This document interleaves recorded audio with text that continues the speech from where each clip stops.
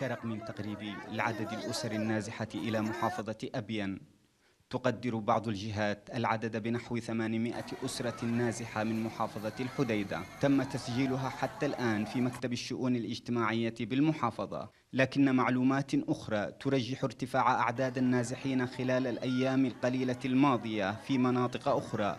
وقد تجاوز عددها الألف أسرة استقبلتها منطقتا شقرة والكود. حيث يعيش معظمهم في مخيمات بينما يعيش آخرون في مساكن متواضعة بالإيجار.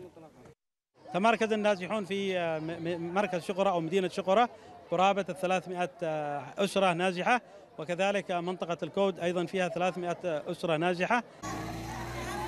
أمام هذا العدد الكبير للنازحين الذين يعيشون أوضاعا إنسانية غاية في السوء. تسعى المؤسسات المحلية في المحافظة إلى الإسهام في تقديم المساعدات لهم بالإضافة إلى ما تقدمه المنظمات الدولية من مواد إغاثية.